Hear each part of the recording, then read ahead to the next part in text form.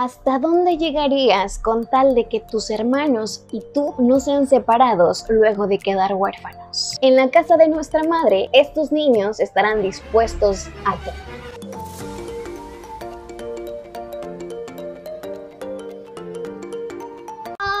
Cini, ¿cómo estás? Yo súper contenta porque después del especial de Halloween de dos videos que te compartí sobre pactos con el diablo y una historia propia, pues ya regreso con una reseña de las que me gustan. Es de una novela gótica. Se trata de la casa de nuestra madre de Julian Glock. Qué joyita tan escondida, ¿eh? Porque nadie ha hablado de este libro en YouTube. Hasta donde yo vi, hasta donde mi investigación llegó. Entonces somos los primeritos, ¡yay! Te platico, yo descubrí este libro gracias al comentario de un bookercito que vio el video de la maldición de Hill House, libro versus serie de Netflix. Por eso es importante que comenten siempre. Y dice así, hola, no sé si veas mi comentario. Obvio que sí veo sus comentarios y los leo a todos. Pero te recomiendo leer La casa de nuestra madre de Julian Glock. A la orden, capitán. Que lo editó Perla Ediciones hace poco y que nadie, absolutamente nadie, las mayúsculas se gritan, amigos, ha hecho una reseña de este libro. Está como en 469 pesos. Muy caro, mano, está muy caro. Pero yo tengo libros de esa editorial y están preciosos. Revísalo y estaría padre que lo reseñes, ya que me gusta mucho cómo reseñas los libros que lees. ¡Oh, qué bello! Y aquí estoy cumpliendo buquercitos. Entonces vámonos con la reseña recién salida del hornito.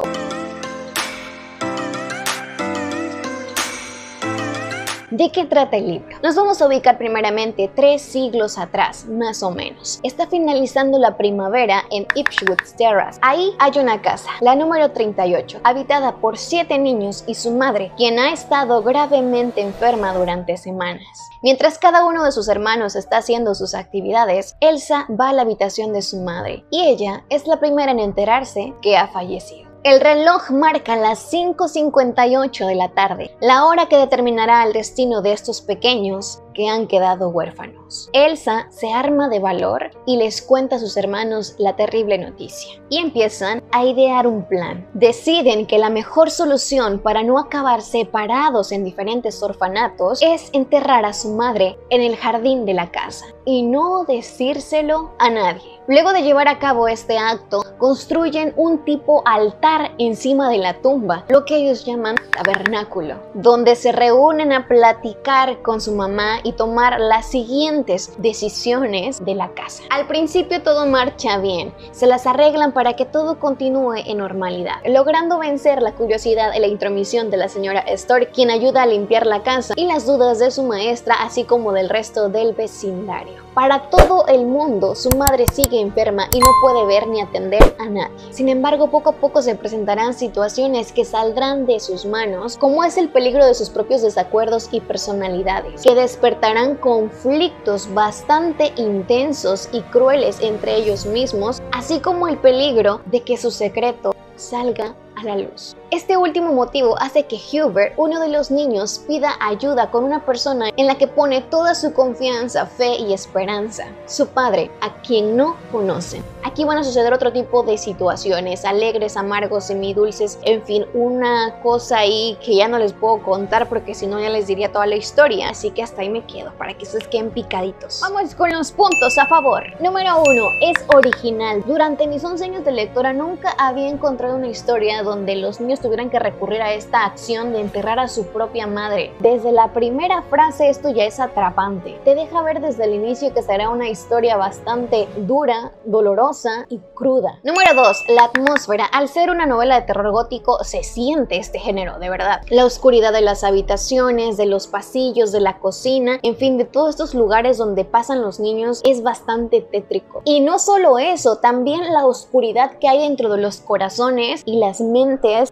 la mayoría de los niños, unos más perversos que otros. Y esta parte fantasmal de sentir que la mamá sigue ahí con ellos. En cada decisión, cena, comida, pensamiento, recuerdo, el autor nos transmite el vacío que ha dejado la muerte de su madre y que se hace presente de esta forma, les digo, fantasmal, como de espíritu, de que algo ahí interno quedó, porque prácticamente el cuerpo está enterrado a unos cuantos metros de ahí. ¡Qué valor! Número 3. Personajes de 10. Cada uno de los niños tiene un papel súper creíble. Parecieran que el autor hubiera hecho las personalidades y la psicología de ellos a mano. Se hubiera agarrado una agujita y les estuviera costurando. Ya ven que no siempre queda igual así. Vaya, como si fueran piezas artesanales que puedes distinguir una pieza de la otra son únicos y no los olvidas fácilmente. Elsa es la mayor, tiene 13 años y es la más sensata de la historia, por lo tanto comienza asumiendo el mando de la casa. También tenemos a Dustin que tiene 10 años, él es el más serio, religioso y moralista de todos, a su vez muestra arranques de violencia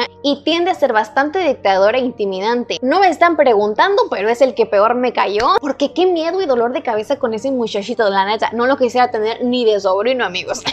Hubert, de 9 años, es uno de mis favoritos. Es el segundo más sensato de la casa. Tiene un corazón súper bondadoso. Quiere a todos sus hermanos pese a que lo sacan de quicio. Es sumamente responsable. Es quien busca soluciones a todo hasta donde le permite su inteligencia. Por lo que al fracasar con algún intento, él es el que se siente más culpable. Diana o Diana es la seguidora de Dustin. Es igual de religiosa, de inquisidora. Le encanta andar señalando los pecados de cada uno. Dustin y Diana representan la Santa Inquisición. Y los más pequeños son Jiminy, Jury y Willy. Estos apenas comprenden que su mamá ha muerto. Jiminy es mi favorito, se ganó mi corazón porque es un niño que se olvida de todo, es tartamudo, pero es buenísimo en el dibujo y sobre todo para no ver maldad en nadie. Sus hermanos o los extraños pueden estar cometiendo actos malos enfrente de él y en su mente hay otra versión, como un tipo de justificación en el que siempre tal vez esto, quizá pasó por lo otro, ay no, es un amor. Claro que esto va acorde con su edad, está muy chiquito, entonces siempre tiende a ver las cosas buenas de todos. Yuri, en cambio, es una niña indiscreta, solo pide y pide, recordemos que tiene 5 años, y Willy es bastante exigente, imaginativo, él vive en su mundo. Número 4 a favor, las temáticas. Número 1, la opresión de la religión es uno de los tópicos más destacables de la historia. En la obra lo encontramos con menciones hacia Jesús, la lectura de la Biblia y las citas de algunos versículos. Y está más representada en Dustin y Diana, quienes siempre andan buscando a quién castigar, a quién juzgar y someter.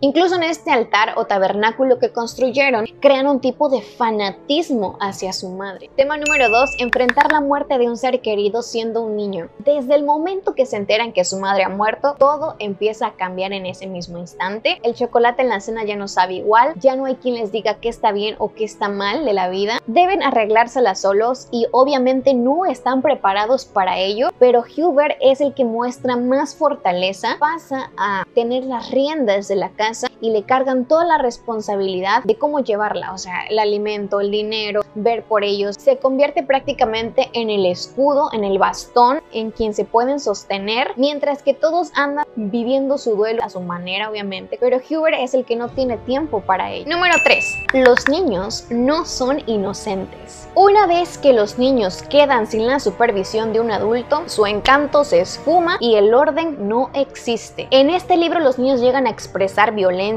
maldad, desprecio, rencor, ira, etc. Un libro que me recordó estas escenas y actitudes fue El Señor de las Moscas, también joyaza para leerse. Pronto les traigo la reseña completa porque tengo un mini video aquí sobre ello, pero quiero hablarles más. Número 4. El poder. El libro muestra la típica jerarquía familiar que es orquestada siempre por el integrante mayor, en este caso es Elsa, pero una vez que esta flaquea, todo se viene abajo, se pierde el control, no hay obediencia y el poder llega a caer en manos de los menos sensatos y más autoritarios de los hermanitos. Al final de todo es una lucha constante de quién tiene el mando. El tema anterior nos lleva a una tiranía impuesta bajo la justificación de que esto haría nuestra madre, esto diría, esto no se haría, y así se cometen actos injustos que dañan la salud física y mental de los niños. El autor nos muestra un hecho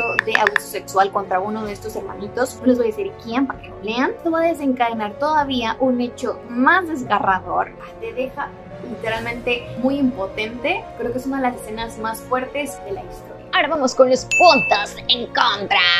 El número uno, los diálogos. Aunque la historia está muy bien lograda, había momentos en que yo sentía que los diálogos no correspondían a los de un niño. O sea, sí que son pequeños diferentes al resto porque están viviendo una pérdida, pero aún así se sentía como si hablara un adulto y no, no es siempre, pero sí hay estos detallitos. Número dos, el final. Con esto no quiero decir que sea un final horrible, que sea malo, para nada, pero para mi gusto de lectora yo esperaba más acción, locura, sangre de parte de los niños.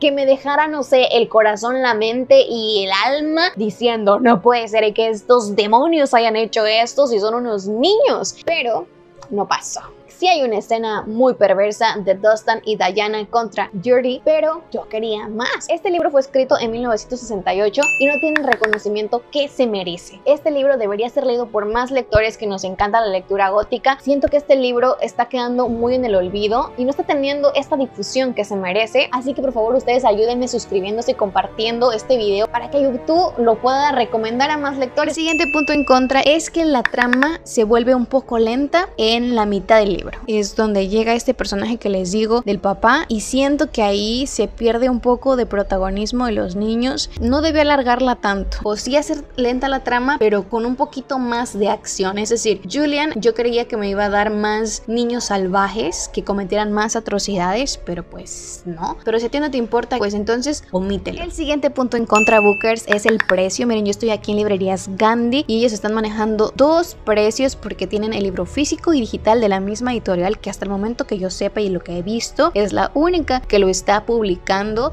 en español. Miren, está en 469 pesos como dice el comentario en físico y 202 pesos en digital. En mi opinión, yo no gastaría casi 500 pesos por un libro que no conozco. Bueno, en su momento yo no lo conocía, no había leído nada de él y pues creo que no trae ilustraciones, pero en mi caso yo lo compré en digital y no me arrepiento para nada porque si la historia está muy buena, pero no para que yo gaste tanto, ¿eh? Y en Amazon están vendiendo los dos también también por 469 pesos, como les digo, y 202 pesos. Está igual como ustedes quieran elegir el libro. Si me preguntan si prefiero digital Kindle o digital Kobo, que es en Gandhi, pues yo me voy con Kindle. Kobo de repente me está con los dolores de cabeza, neta. Deberían de mejorar un poco su aplicación porque se me atora a veces. Entonces yo les recomiendo que sea mejor Kindle, es más fácil, es no sé, me encanta Kindle. Yo tengo la aplicación en el iPad y en el teléfono, no es necesario que tengan el Kindle como tal, el aparato. Datos extra. Hay una película de esta hora que la verdad estoy deseando ver, espero conseguirla. Y se llama en inglés Our Mother's House o en español A las 9 cada noche. Fue estrenada en 1967 y dirigida por Jack Clayton. Este director británico también llevó al cine a The Innocents, una película basada en la novela de Henry James llamada Otra Vuelta de Tuerca, que es muy famosa también por esta parte del terror gótico, incluso súper recomendadísima de Stephen King.